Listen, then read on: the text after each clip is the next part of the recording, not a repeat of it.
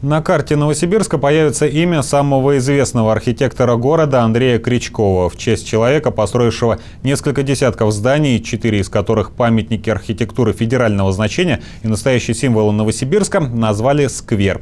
Вот такая скромная дань уважения. Переименовать в честь зодчего всю площадь Свердлова в январе этого года во многом не дали коммунисты. Изменится теперь и название набережной Аби. Обо всем по порядку, расскажет Светлана Шуваева. Сквер расположен рядом с площадью Свердлова и, если судить по карте, гораздо больше, чем она. Здесь же установлен памятник архитектору. Решение назвать именно это место в честь Кричкова, кажется, примирило краеведов и коммунистов. Когда первые предложили переименовать площадь имени революционера в площадь имени градостроителя, вторые выступили категорически против. Мне лично очень непонятно и очень жаль, что политические интересы перевесили от э, названия э, площади, переименования площади Свердлова, площадь Кричкова потому что там никаких финансовых затрат нет, там э, народ высказался за, а, и, ну, вот, тем не менее, решение было принято отрицательным, ну, как бы, как бы чего ни случилось. Впрочем, противники площади имени Кричкова уверяют, никакой политики, лишь любовь к исторической справедливости и не любовь к любым переименованиям. Если бы краеведы предложили изменить название улицы Татьяны Снежиной, коммунисты были бы точно так же против. Я не против Кричкова. То есть не, нужно смешивать две этих вещи. Да?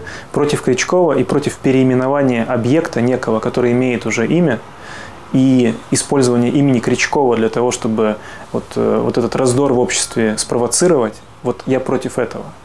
А говорить, если о том, что он великий архитектор, о том, что он создал замечательнейшие здания в городе Новосибирске, но с этим спорить, я думаю, никто не будет. До сих пор на карте Новосибирска не было ничего, что напоминало бы о человеке, создавшем запоминающийся облик центральной части города. О его заслугах горожане знают, но в общих чертах. Ну, не очень, но знаю. Ну, например?